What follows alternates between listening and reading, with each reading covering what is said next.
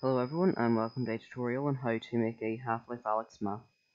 So first thing you're going to do is open the hammer editor which you can see here on the asset browser, just click that and it should open this. Now go to file, new, this should create a new map and you'll see this. Now uh, if you, you can get the foregrid view back if you want, but I prefer that like since like this uh, 3D view has full support now, you can create blocks, you can bring things up. It, it's just much better to actually use this uh, full grid. So just click it, press Shift Z, and you should get it. So the first thing you're going to do is create get the block tool. It should be Shift B, I think. Yeah, Shift B. And you just make, make a block about 1024 by 1024. You can make it bigger if you want and press enter. This will create the block. Next, you want to want to create another wall, a block. Uh, just drag it up. Create another one, let's press enter, get the block tool. Create another side, press enter, and drag this up. Get the block tool and press enter. And get the block tool one last time. Enter bring it up. And that should be it for that. Seems to be a little bit of a glitch with that brush. Let's create it again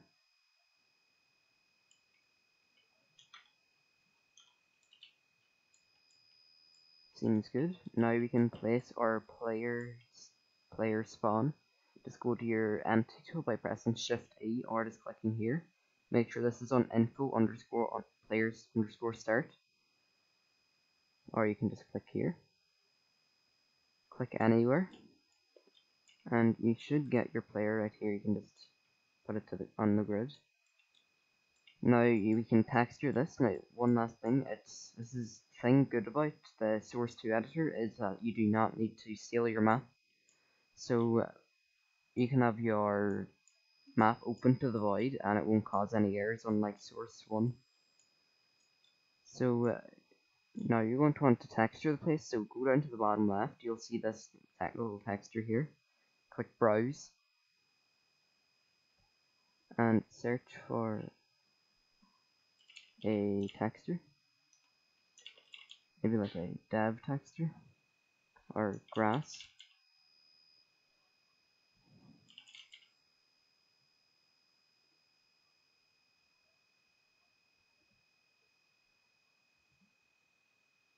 It's a bit slow if you wait for them to all load in. This one seems good, you just have to drag it on. Just drag this texture on, I, oh, and you can just to apply it to one face instead of the whole thing. Just select the face tool and just drag it on. See, it just applies to one face then. Ingrid a wall texture.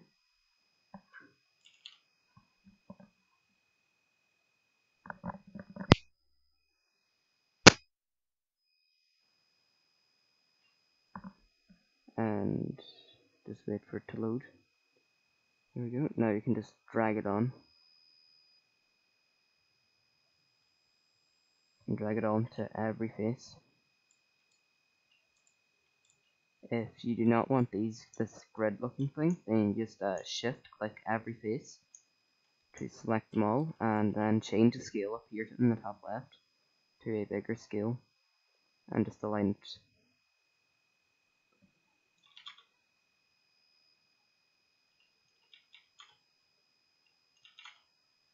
something like 700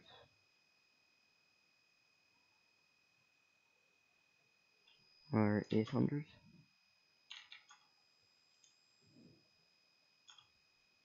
there you go that seems good. And you might want to have uh, every face uh, have the same scale up and down so you can just set this to the same number. It will look much better. Now we've got our stone walls we can create our first prop now so go over here to your entity tool create a prop underscore static, place it anywhere in the map, double click on it. So you have to actually uh, select objects up here to select it and then double click it. Click the search button over here and search for a bench or uh, yeah bench. And I'll just choose this one. And it should apply here. I'll put it up beside here. Uh, we can switch to the rotate tool by pressing R. And we can just snap it on there. Make sure it's above the ground.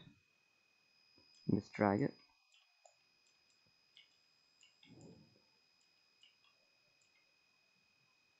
and place in front of the player now we'll create a piano so you can just all you have to do is search up piano hlvr underscore piano and just spawn it remember R to rotate and then just rotate it towards the bench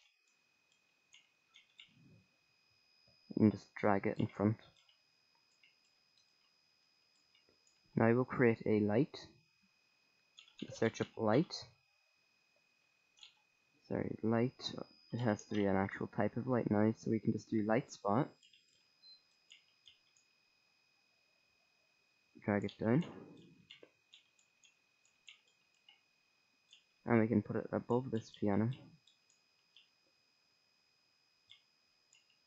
change this from full bright to 3D all lighting and it should show up like that.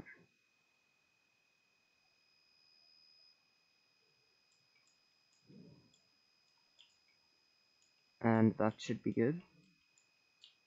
And that is all you need to know for your first map. Have a good day.